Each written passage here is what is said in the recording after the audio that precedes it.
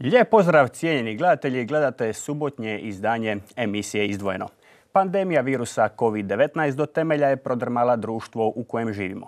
40 dana smo bili bez javnog slavljenja svete mise, gospodarstvo trpi enormne udarce, turistička sezona je upitna.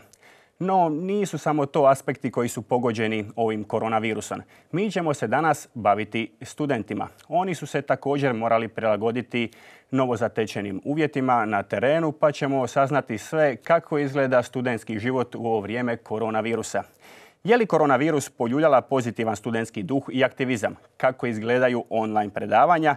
Kako su studenti sveučilišta u Splitu razgibavali ljude u karanteni i poticali ih na fizičku aktivnost? Sve su to pitanja koja ćemo saznati i odgovoriti narednih 45 minuta. Svjedočili smo mnogim pozitivnim akcijama studenata u gradu Splitu. A o tome će nam u današnjoj emisiji govoriti direktnim uključenjem u studio tri gosta iz Splita. Ivan Žižić, ravnatelj studentskog centra u Splitu, Mateo Marušić, predsjednik studentskog zbora sveučilišta u Splitu i Antonio Župan, student kineziološkog fakulteta sveučilišta u Splitu. A na liniji na video pozivu imamo ravnatelja e, studentskog centra u Splitu, gospodina Ivana Žižića, pa da vidimo čujemo li se. Ivane, dobrati večer, čujemo li se? Dobra večer, prije svega pozdrav vama i svim vašim gledateljima. E, Ivane, studentski centar je zadužen za održavanje studentskog standarda i podizanje kvalitete života studenata u gradu Splitu. Pretežno se tu misli na e, brigu o prehrambenim uslugama i uslugama smještaja, ali studentski centar organizira i brojna sportska i kulturna događanja. Kako ste vi prilagodili vaš rad e, koronavirusu i situaciju u kojoj ste se zatekli?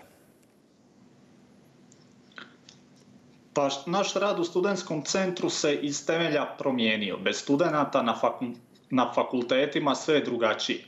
Većina zaposlenika je doma, a ne na svojim radnim mjestima. U prostorima studentskog centra se vrši dezinfekcija ruku i mjeri se temperatura studentima. Oglasne ploče su ispunjene upozorenjima kako se ponašati u prostorima studentskog centra kako bi studenti i zaposlenici u prvom redu zaštitili sebe, a i druge od moguće zaraze. Od sedam restorana na sveučilištu koji su proizvodili 10.000 obroka na dnevnoj razini, hranu trenutno priprema samo jedan restoran i to je nekih 200 tinjak obroka na dnevnoj razini. Mhm. Dobro. E, koliko je studenata ostalo u studentskom domu za vrijeme ove pandemije kada je uvedena e, karantena? Pretpostavljam da, su, da je većina studenata otišla svojim kućama. Da, većina studenata je otišla svojim kućama. Prije početka pandemije u studentskim domovima je bilo 800 studenata. Sada smo ostali na svega 80 studenata u studentskim domovima. Njih 45 su Erasmus studenti, dok su ostali redovni studenti sveučilišta u Splitu.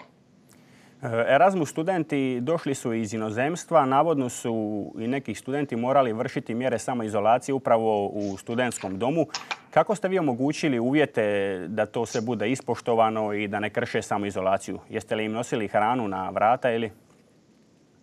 Da, imali smo slučaj sa dva studenta koji su na putu iz Španjolske prošli preko Venecije. To je bilo u samom početku trećeg mjeseca kad koronavirus nije bio u Hrvatskoj. Pošto su prošli kroz zaraženo područje, naši epidemiolozi su odlučili da ti studenti trebaju biti 14 dana u samoizolaciji. Oni su svoju samoizolaciju odradili u studentskoj sobi u studentskom domu u Spinutu, gdje su im djelatnici studentskog centra na dnevnoj razini dostavljali tri obroka. Danas, s obzirom kakve su mjere na snazi, samoizolacija nije moguća u studentskom domu. E, dobro da pojasnimo našim gledateljima. Grad Split trenutno ima e, dva studentska doma, jedan na Spinutu, jedan na kampusu i valja naglasiti da se taj na Spinutu upravo obnavlja. Ne, na Spinutu su dva studentska doma i na kampusu jedan, tako da je jedan studentski dom na Spinutu u funkciji, a drugi, se obnavlja. Dobro. Da. A studentski centar je u ovo vrijeme sudjelovao i u brojnim humanitarnim akcijama. To su malo popratili i mediji, pa sam naišao na situaciju kada ste ustupili katoličkoj udruzi Lovret, koja dostavlja tople obroke za 110 socijalno ugroženih obitelji u Splitu. Prepustili ste im korištenje jedne vaše kuhinje, jedne menze.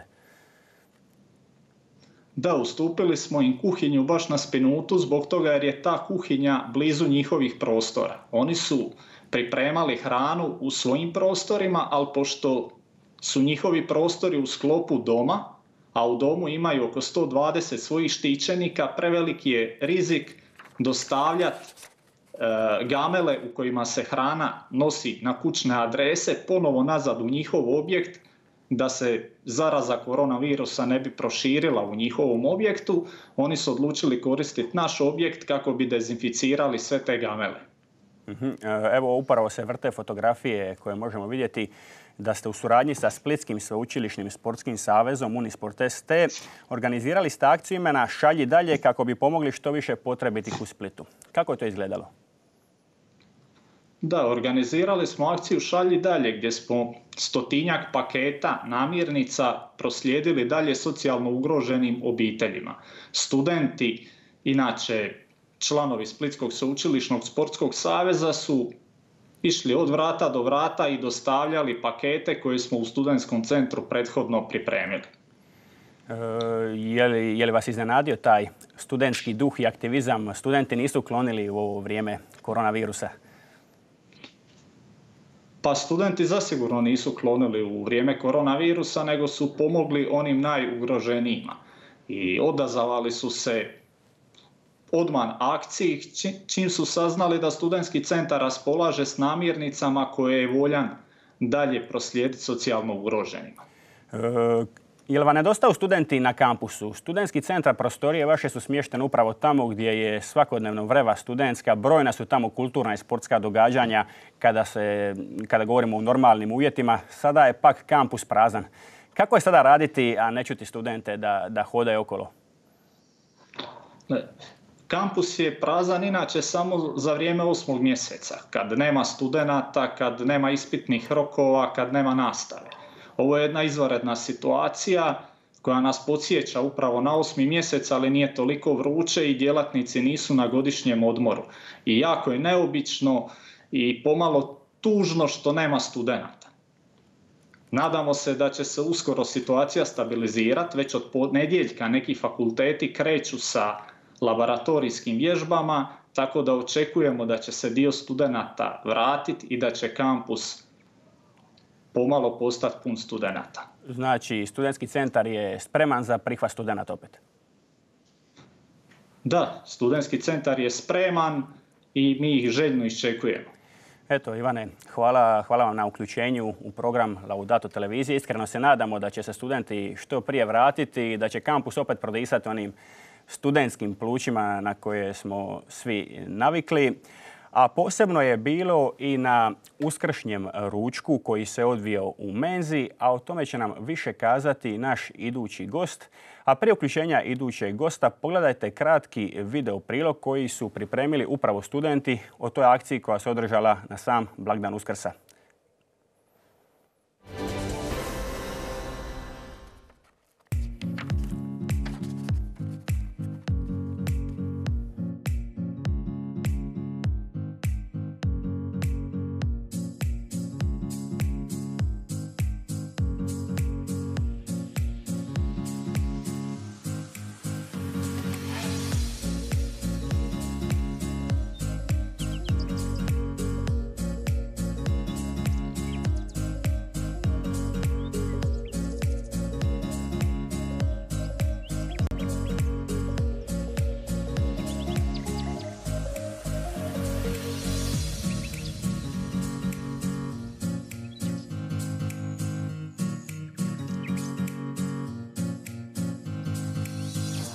Bila super. How was the food? Very delicious. We can see that from you. Happy Easter, thank you. Hrana je bila odlična, najbolja ikad u Menzi. najbolja uskoro do sada. Da.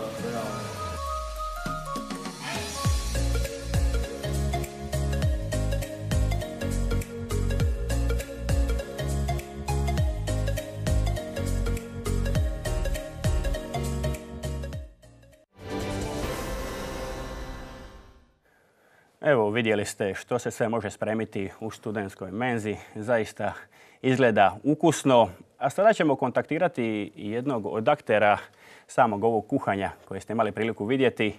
Znači vrstanje kuhar, a inače je i predsjednik studentskog zbora sveučilišta u Splitu i student Fezba, a to je Mateo Marušić eh, iz Širokog brijega koji se također zatekao za vrijeme koronavirusa u Splitu i nije mogao otići svojoj kući za uskrs, pa je odlučio svoje vrijeme pokloniti onim potrebitima. Mateo, čujemo li se? Lijep pozdrav svima i svim slušateljima, čujemo se dobro. Ha, i gledateljima i slušateljima. Vidimo te. E, tako je, tako je. E, Mateo, evo prvo pitanje. Kako je bilo provesti uskrs van kruga svoje obitelji? Širokog si brijega, nisi ostao u domu, ostao si zatečen u stanu i nisi mogao ići. Pa zasigurno da mi je ovo jedan od najčudnijih uskrsa što se je do sada proveo. E, hvala mi je obiteljska atmosfera. Moram priznati i mamin ručak i specialiteti uskrsni su mi falili onaj skroz. Pokušali smo oni nekako vratiti taj obiteljski duh mi sa, na kampusu praveći uskrsni ručak za sve studente i tako smo se okupili ekipa iz studentskog centra sa sveučilišta i mi iz studentskog zbora koji smo napravili zajedno uskrsni ručak kako bi malo doprinijeli uh, zajedništvu i, i, i skupa.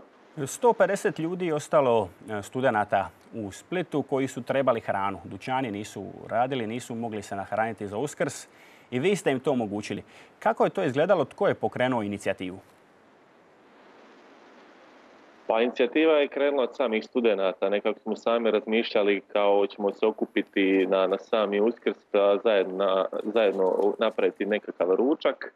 Te smo u kontaktu sa ravnateljem Ivanom Živišćem uh, predložili ideju da e, preuzmemo menzu, te kuhamo za sve studente, na što smo zajedničkim snagama onaj, preuzeli taj poduhvat. Te kao što možete vidjeti na slikama, e, pokušali smo napraviti ručak, e, odličan je ispao, studenti su bili e, prezadovoljni, e, ovi koji su bili stručni kuhari preuzeli su samo ulogu kuhanja, mi malo stručni, koji imamo manje znanja, mi smo preuzeli ulogu pripremanja namirnica, sjeckanja i slično. I tako da je to pretvorilo jednu jako lijepu priču, kao što možemo vidjeti na ovim slikama. Izmamili smo puno osmijeha i dosta je i ručaka na kraju podijeljeno i drug, drugima. E, što se sve kuhalo? Što je bilo na meniju? U, a, na meniju a, na meniju je bila piletina u bijelom umaku s kozicama, koju sam čak pokušao kući napraviti. Također je bila junetina na crveno, kao u nekom gulašu. Inače, li, naši vrstni kuhari su to puno bolje pripremili nego ja sam u kući. A tko su bili kuhari? Ona, evo, kuhari su bili ravnatelj Ivan Žižić i tajnik e, Sportskog savjeza Toni Batinić, e, popularno zvani Koreja. Evo, ovi su recepti baš objavljeni na našim društvenim mrežama i također se i ostali studenti mogu okusiti u spravljanju ovih ručkova. Nadam se da će biti uspješniji od mene. O, ovaj meni nije klasični meni na koji su studenti navikli. A definitivno e, nije klasični meni, malo smo ga doradili, da tako kažemo, kako bi napravili uskrs e, e, posebnim i sigurno se svim studentima svidjeli i pitali su zašto ovo nije inače u menzama. I, I koliko je porcija podijeljeno na kraju? Pa mislim negdje oko 100, 150 porcija je podijeljeno, također su uzmali i za repete za, za večeru kasnije studenti, tako da možemo reći sve što smo napravili da smo podijelili. I jesi li popričao malo sa studentima koji su probali hranu? Jeste li im barem malo uljepšali uskrs eh, van njihovih obitelji? Pa kolege koji su ostali u studentskim domovima i u Splitu e, definitivno iz početka nisu, nisu znali za, za ovu našu akciju, nego kako su lagano dolazili studenti, vidjeli su da je hrana drugačija, da se ne naplaćuje nego da se dijeli, e, te nakon samo nekoliko minuta i ostali smo i ostale studente probudili svojih domova, te su e, se selim i radošću došli u samu menzu i i tim ručkom posebnim smo ih definitivno obradovali. i nadam se da smo im bar, bar malo doprinijeli ovoj atmosferi za uskrs. E, ovo nije jedina humanitarna akcija koja se održala u ovoj menzi, je li tako? Pa također e, pripremao se obroci i za, za, za druge potrebite, kao što su bile za hitne pomoći i ostalim socijalnim ugroženima, tako da je Menza bila radila punom snagom ovim danima. Baš sam pročitao u medijima da je ova Menza isporučila 210 sendviča s omletom od šunke i sira za medicinsko osoblje KBC-a E, firule. E, što studentski zbor će raditi narednih dana dok još traju ovakve mjere? Pa evo, kao studentski predstavnici intenzivno radimo na komunikaciji sa ministarstvom i sa svim nadležnim tijelima kako bi studentima e, pravovaljane informacije na vrijeme dobili. U ponedjeljka kreće i nastava u manjim grupama, u laboratorijske vježbe i kliničke vježbe i slična nastava. Tako da evo, iskomunicirati sa, sa svim naležnim tijelima i studentima nastavak same nastave.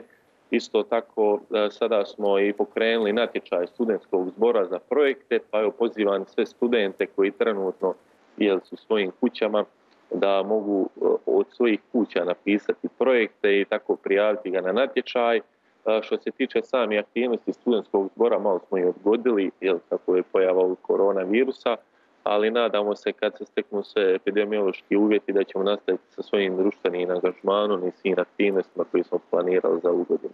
Studenci Splitskog FESBA, to je fakultet koji je baziran dosta na praktičnom dijelu, ima i nešto teorije. Kako su organizirana online predavanja? Moram priznati, online predavanja na, na tehničkim fakultetima su puno bolje organizirana i odlično uh, funkcionira. Također na nekim fakultetima gdje je štekala online nastava, uh, uprava je komunici, iskomunicirala sa studentima najbolji način koji bi osigurali kako bi proveli nastavak same izvedbe nastave, tako da možemo reći da su ostali fakulteti uključili u, u samu provedbu nastave na daljinu, te da to proteče u najboljem redu. Najboljem redu. Jedan takav oblik nastave je, su video pozivi kao što je sada ovaj, gdje profesor izlaže svoju, svoje predavanje, a studenti iz svojih kuća preko laptopa prati. E, Splitski FESB je sudjelovao zapravo studenti u izradi zaštitnih e, vizira za medicinsko osoblje. A također se možemo pohvaliti jeli, u vrijeme korizme kada, kada i trebamo malo solidarizirati se prema svima. Uh, upravo iz Splita je pokrenuta akcija izrade medicinskih vizira gdje se kasnije pretvorila u nacionalnu akciju. Uh, moram se pohvaliti ime da smo proizveli više od 11,5 tisuća uh, medicinskih vizira koji su koristili naši liječnici i medicinske sestre. Također tu je uključeno bilo preko 400 3D printera, gdje je uključeno bilo preko 30 ustanova diljem e, Hrvatske, što srednjih škola, što fakulteta, te zasigurno smo malim dijelima e, učinili veliku stvar. Jer skrenuli smo pozornost na nedostatak zaštitne opreme, gdje se kasnije i uključile velike firme koje su kasnije proizvole na tisuće i tisuće komada takvih vizira. Ukratko, za sve one koji su mislili da se studenti u ovo vrijeme odmaraju, nisu studenti, volontiraju, a to smo se uvjerili, kao što smo čuli u prethodnih 20 minuta, u brojnim akcijama. Mateo, evo za, za kraj našeg razgovora, je li ti bilo teško na uskrs izdvojiti 5-6 sati i otići volontirati? Pa sigurno da sam za uskrs tražio da mi bude drugačiji dan, ne samo provesti u samoizolaciji. E, I ta, ta akcija koju smo napravili za sami uskrs nekako me ispunila gdje smo se i družili sa, sa drugim kolegama, gdje smo napravili dobro dijelo i definitivno kada izmamimo osmijeh e, samih studenta kada su probali ukusno jelo koje je bilo ukusno, ispunio sam se ja e, nekako jel, samo radošću i doživio sam uskrs par drugačije nego što sam ga planirao jel, proživjeti sam u, u stanu. Svakako ćeš zapamtiti ovaj uskrs. Mateo, hvala ti na uključenju u program Laudato televizije i studentskom zboru želimo još mnogo uspješnih projekata u budućnosti i neka nastavite uveseljavati studente u gradu Splitu. Hvala vama i na pozivu. A prije uključenja našeg idućeg gosta pročitat ćemo vam par poruka sa Facebooka. Bili ste jako aktivni i pratite našu emisiju, pišete nam iz svih dijelova Hrvatske. Gledatelj Darko piše da nema Laudato TV-a ne bi imali što zagledati. Hvala vam svima. Hvala tebi Darko što nas pratiš. Gledateljica Vesna, od srca hvala Laudato televiziji što nam je omogućila da gledamo preko interneta mnogo predivnih emisija, jer mi vas u Banja Luci nemamo Boži blagoslov svima. Gledateljica Mara, da će dragi Bog, bit će sve bolje, pozdrav svima, čestitam vam na vašem radu.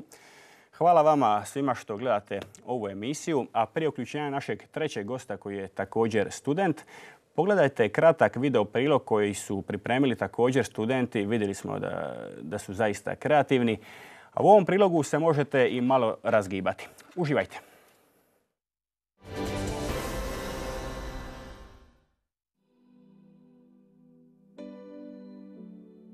Bog, ja sam Sonja i bit ću vaša trenerica na Unisport Morning Routine programu. Trening će se sastojati od vježbi snage vlastitom težinom, fleksibilnosti i mobilnosti. Trajat će do 45 minuta i prilagođen je za rekreativce i sportaše.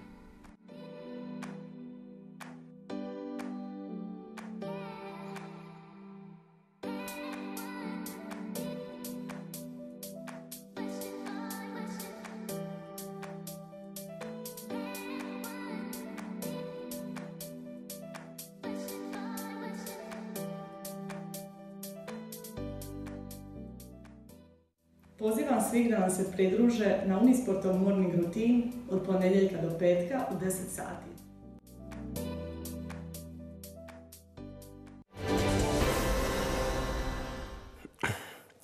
A na liniji u, Splitu imamo Antonija Župana, studenta kineziologije, ujedno i projekt menadžera Splitskog sveučilišnog sportskog saveza.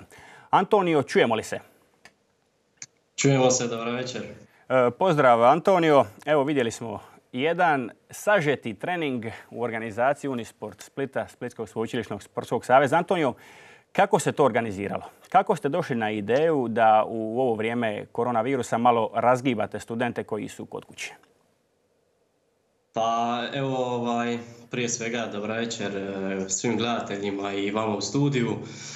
Pa evo, pojavom e, virusa bili smo i mi iznenađeni kao i mnoge aktivnosti i mi smo morali e, odgojiti neka naša e, natjecanja. Pojav virusa je utjecala na, na sve to, međutim vrlo brzo smo reagirali u novoj nastaloj situaciji i prebacili naš rekreativni program u online izdanje.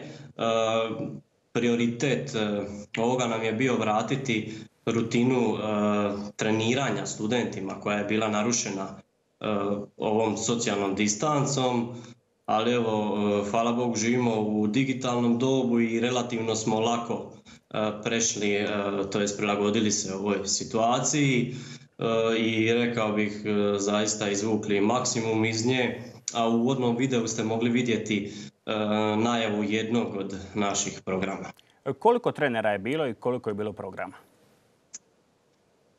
Pa za početak, da bi uopće pokrenuli ovakav oblik e, vježbanja, bilo je potrebno e, nabaviti informatičku opremu za live prijenose, e, uspostaviti kućne studije za treninge, odakle će uopće treneri voditi te treninge i dodatno što smo napravili je to da smo podijelili osnovne rekvizite za vježbanje našim redovnim polaznicima rekreacije, naravno onima kojima smo to, to mogli.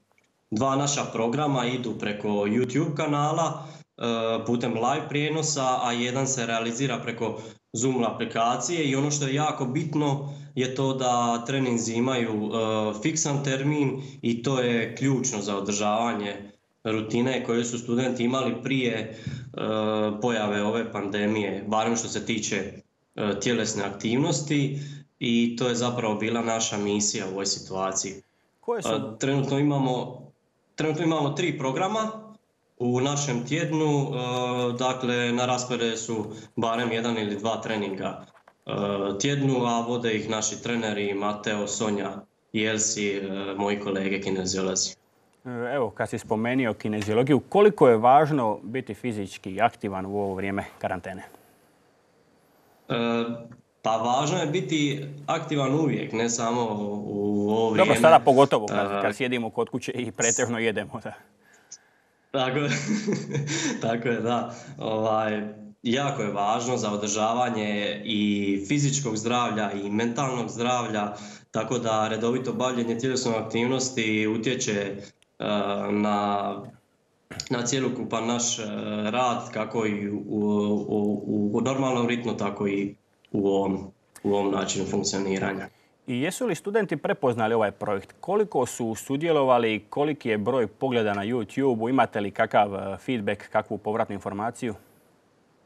E, pa za početak e, napravili smo prijave i većina naših starih polaznika se prijavila, odnosno odlučila nastaviti rekreaciju i imamo oko 300 e, polaznika ovakvog oblika vježbanja. Većinom su to studenti, ali omogućili smo i djelatnicima sveučilišta da sudjeluju u našim programima prije u starom načinu, jel, kad je bio, ovaj, kad smo trenirali u dvorani, bilježili smo pluseve i minuse za dolaske, odnosno nedolaske.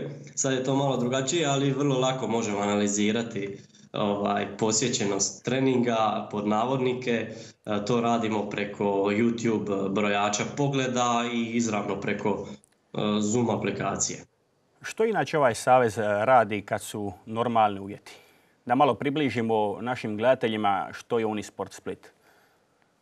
Pa naše osnovne aktivnosti e, se dijele na rekreativne i natjecateljske. E, organiziramo službena prvenstva sveučilišta na lokalnoj razini, e, natječemo se i na državnoj razini, dakle šaljemo naše najbolje reprezentacije, imamo i nastupe na europskim i svjetskim prvenstvima. Osim toga, program se sastoji od rekreativnog dijela u kojem na tjednoj bazi sudjeluje preko 800 studenata, e, tako da evo, zaista smo aktivni na tom polju i misija nam je zapravo održavanje zdravstveno usmjerenog e, vježbanja. Nalazimo se još uvijek u vremenu Sudamje, 7.5. 7. svibnja je blagdan Svetog Dujma, a upravo ovaj vikend je trebala biti održana međunarodna veslačka regata Svetog Dujma. To je čuvena regata u Splitu na kojoj nastupaju i posade Oxforda i Cambridgea i veslaju u Splitu što je zaista velika čast. Tolika čast da je čak i uvrštena u službeni program proslave Sudamje i evo ove godine nije održana. E, da, da, tako je. Sinoć je u galeriji Meštrović trebalo biti otvorenje ovogodišnje regate. Danas bi bila utrka studenata na pontonu e, Veslačkog kluba Gusar, navečer zabava i tako dalje. Ali evo, nažalost, ova manifestacija ide na čekanje do, do sljedeće godine. E, zanimljivo je kako smo ovaj događaj mogli prekuniti nebrojen broj puta i prije rado razno raznih razloga kao što su financije, nedostatak brodova, nepredvidive vremenske prilike i tako dalje, ali evo tek nas je sad zaustavila ova pandemija. I tek sad shvaćamo zapravo koliko nam regata znači. Na Instagramu smo ovih dana pokrenuli malu nagradnu igru e, gdje se prisjećamo lipih trenutaka sa prošlih regata, pa naši sudionici, volonteri i mi organizatori e, objavljujemo slike i biramo najzanimljiviji trenutak i tek sad vidimo koliko je tu zapravo ovaj, lijepih uspomena i nostalgije i teško će biti odlučiti se za e, povjednika. Pa dobro si rekao, koronavirus i ovo sve što se dogodilo zapravo je dobro došlo da uistinu shvatimo koliko je građanima sport važan. Svi pričaju o sportu, sport nam nedostaje, kada će se vratiti lige, a evo mi kada će se vratiti regata. I zanimljivo je da regatu mm, organiziraju studenti volonteri. Imajte u vidu da je ovo međunarodna veslačka regata na kojoj sudjeluje 20 osmeraca. To je uistinu jedna velika organizacija Antonio, koliko volontera se uključi u aktivnosti Splitskog sveučilišnog sportskog saveza u organizaciju raznoraznih događaja? Pa gledajte, mi u bazi volontera imamo preko 2000 e, što studenata, što čak i učenika. E, tako da, ovaj, ovisno o veličini natjecanja je, javlja se i e, potreba za volonterima, ali konstantno sudjeluje veliki broj volontera na kojima smo im zaista zahvalni i sam sam do prije dvije godine E, odradio puno volonterskih sati, što na fakultetu, što na, na sveučilištu i evo i nastavljam i dalje volontirati, tako da to je zaista neprocjenjivo. Splitsko sveučilište ima i svog prvoligaša u futsalu, zapravo u prvoj Hrvatskoj malonogometnoj ligi. E, futsal klub Univerzitas od Milja zvan Avcu dobro kotira u toj ligi. Ima li naznaka kada će se vratiti ta liga i hoće li se odigrati do kraja? Inače, Split je poznat e, da voli futsal, prepoznaje važnost futsala i dvorane su pune. Da, da, da, eto, nažalost, liga je zaustavljena, nastavak je pod upitnikom i stalno se čekaju nekakve nove upute i odluke stožera i nadležnih institucija u sportu. E, evo, nemamo nikakve informacije o nastavku lige, ali eto, momci treniraju, počeli su trenirati u manjim grupama, prije toga su trenirali isto u online e, obliku preko Zoom aplikacije, e, tako da održavaju razinu fizičke i mentalne forme. Evo, svi čekamo i nadamo se nastavku i vraćanju u malu dvoranu gripe, ali prije svega e, važna je sigurnost igrača i građana. Antonio Save se i humanitarno uključio. Čuli smo već ranije dostavljao je hranu. Jesi li ti sudjelovao u toj akciji? E, da, da, da. Ja sam isto e, skupa sa svojim kolegama, s našim kombijem, sport kombijem dostavljali hranu najpotrebitijima. E, zaista jedna hvale vrijedna akcija koju je pokrenula Konoba Makarun u kojom smo i mi barem malo pomogli nekim obiteljima u Splitu. Uključili su se i članovi Javcua i tako su nastavili akciju i eto nadam se da će bi u budućnosti biti takvih i sličnih akcija. Pa evo, približavam malo kako su ljudi reagirali kada bi im studenti pokucali na vrata i donijeli pun paket namirnica. Pogotovo ovi stariji koji nisu bili u mogućnosti ići do trgovine. Pa bio je stvarno e, različit spektar reakcija od oduševljenja do čuđenja. Neki su i pomalo u strahu to dočekali, ali eto, ovaj, jer eto nisu očekivali. Tako da morali smo objasniti zapravo šta radimo. Mm, tako da, eto, ovaj, tu smo nailazili možda na, mi, mi smo se iznenadili koliko ljudi različite reakcije mogu imati, ali sve skupa pozitivno jako. Pa je li ti bilo teško, je li ti je bilo strah da se ne zaraziš opet u kontaktu si sa ljudima, nosiš pakete po stubištima, kucaš na vrata i tako? A gledajte, strah je prisutan od početka pandemije i, i ne mogu pobjeći od njega. Međutim, e, kad radiš tako neko plemenito djelo, motivirate nešto drugo, naravno nosili smo zaštitne e, rukavice, maske i vizire koje je naš e, studentski zbor akciju hvale vrijednu koju je pokrenuo tako da eto, osigurali smo sve što je moguće, dezinficirali hranu, ruke, tako da eto, sveli smo rizik na minimum. I za kraj malo o tvom fakultetu, kako su organizirana predavanja na kineziologiji i vi imate mnogo praktičnog rada, pogotovo sport. Je li odrađena ta praksa, kako je to izgledalo?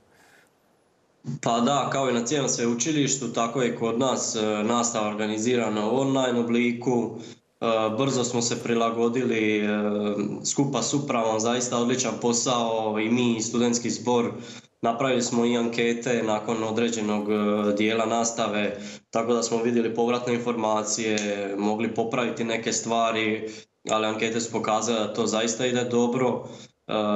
Tu inicijativu je pokrenuo naš predsjednik studentskog zbora sveučilišta Mateo i na sve nastavnice tako da i oni mogu vidjeti uh, povratne informacije. A što se tiče e, praktičnog dijela nastave, velik dio e, toga ima na kineziologiji, međutim tu, tu ćemo pokušati kompenzirati sa nekakvim drugim oblikom, odnosno zadacima, video analizom ili seminarima kako bi kompenzirali taj nedostatak, a dio će se i odraditi nakon sad što je nakon, nakon mjera i preporuka stožera. I Antoni, evo za kraj, ovo zadnje pitanje. Što Savez planira u budućnosti, ima li kakvih planova za ljeto? Pa za početak isto tako pratimo upute stožera i sukladno sa uputama i preporukama ne samo stožera nego i nadležnih institucija u sportu e, e, Svjetskog olimpijskog odbora mi ćemo se ponašati u skladu s time. Nadamo se da ćemo provesti dio aktivnosti, odnosno nastaviti dio prvenstava koji je bio prekunut uslijed pandemije. E, također ovisi o, o, e, o studentima da li će biti tu ili ne, ali evo kažem, nastavljamo u online obliku, imamo spreman prelazak, prelazak iz indoor funkcioniranja e, rekreacije u outdoor, odnosno vraćamo se natrag na naše terene. Evo Antonio, hvala ti na uključenju u program Laudato televizije i mi se ovdje iskreno nadamo da će se studenti vratiti svojim aktivnostima, pa tako i vaš savez koji, koji ipak plemenito radi i potiče studente na sportsku aktivnost i zapravo tek smo sada spoznali koliko je aktivnost i biti aktivan važno u životu svakog pojedinca. Da, tako je. Antonio, hvala ti lijepa i do nekog drugog slušanja. A mi ćemo sada pročitati još par poruka sa Facebooka. Ljudi nam pišu. Marija piše predivni ste djeco, Bog vas blagoslovio. Margareta nam piše blagoslov Božji nek vas prati i hvala vam za Facebook prijenos. Hvala vama svima koji gledate nas e, preko društvenih mreža i koji nas pratite i uživo na televiziji. A sada ćemo pogledati pregled najvažnijih vijesti iz svijeta crkve u Hrvatskoj. Pripremili smo prilog.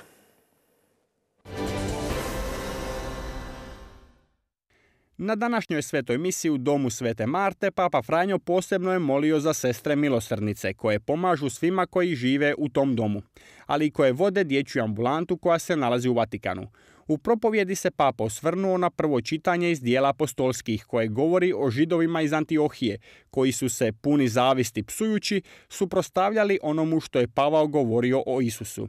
Sveti otac naglasio je kako se đavao služi zavišću, kako bi uništio evanđelski navještaj. Duh sveti uspostavlja sklad u crkvi, ali zli duh uništava. Sve do danas uvijek postoji ta borba. Svjetovna moć oruđe je te ljubomore. Upravo ona može biti dobra. Ljudi mogu biti dobri, ali moć kao takva uvijek je opasna, istaknuo je Sveti Otac.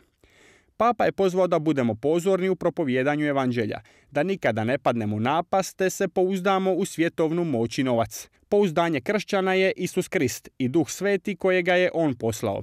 Upravo je Duh Sveti kvasac, snaga po kojoj crkva raste, rekao je na kraju Papa Franjo. Monsignor Želimir Puljić, predsjednik Hrvatske biskupske konferencije i zadarski nadbiskup, obišao je u pratnji kardinala Josipa Bozanića Zagrebačku katedralu i nadbiskupski dvor, koji su teško stradali u nedavnom potresu. Tijekom obilaska nadbiskup Puljić detaljno je upoznat o razmjerima štete te o koracima koji su potrebni kako bi se katedrala i nadbiskupski dvor osigurali od daljnjih oštećenja. Biskupi su se zadržali u molitvi kod groba blaženog Alojzija Stepinca, zamolivši njegov nebeski zagovor za sve stradale u potresu, kao i za sve koji su uključeni u obnovu. Monsignor Puljić na kraju obilaska rekao je kako razmjeri štete kad se vide uživo ostavljao bez riječi, te je poručio, niste sami, uz vas smo molitvom i svakom podrškom. Također, nadbiskup Puljić posjetio je Franjevački samostani crkvu Svetog Franja Asiškog na Kaptolu, koji su također stradali u potresu. Uputio je svima riječi ohrabrenja i zahvale za sve što Franjevci čine za naš narod i crkvu. Izrazio je nadu za što skorijom obnovom te za što brži povratak braće Franjevaca na Kaptol.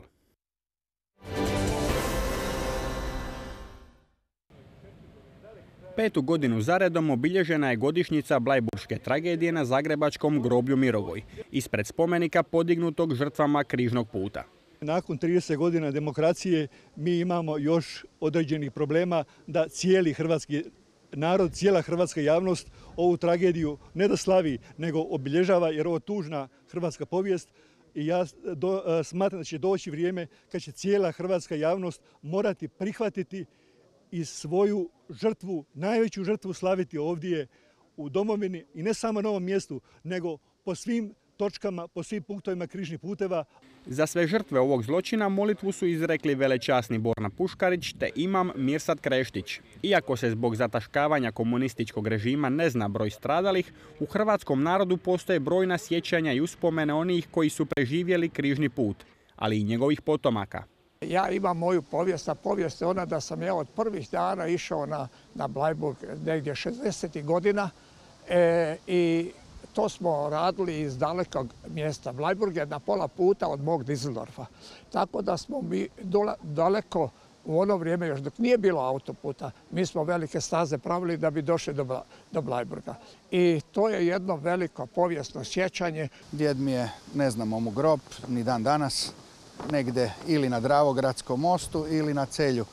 Ne znamo točno, ima dvije verzije njegovog stradavanja a njegov mlađi brat njega su vukli čak do Rume na križnom putu i isto tako je, ne znamo mu niti groba, niti gdje su ostaci.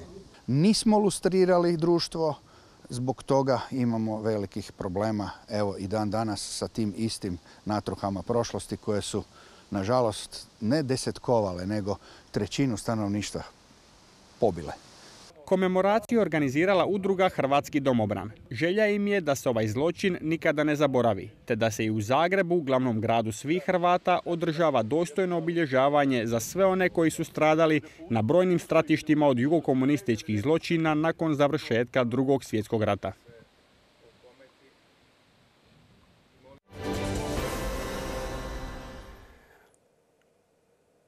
Dragi gledatelji, 40 minuta u društvu studenata jako je brzo prošlo. Nadam se da ste se uvjerili koliko je zaista veliko srce u naših studenata.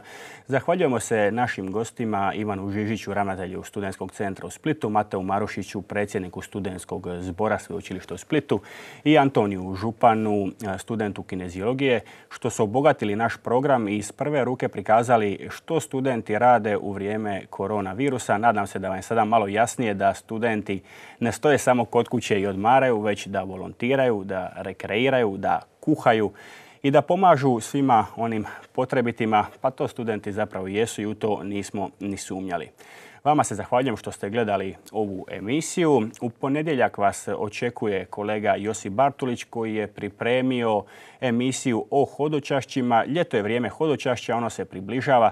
Kako će hodočašća izgledati u vrijeme koronavirusa, saznajte u ponedjeljak. Ostanite uz program Laudato televizije. Laka vam i ugodna noć.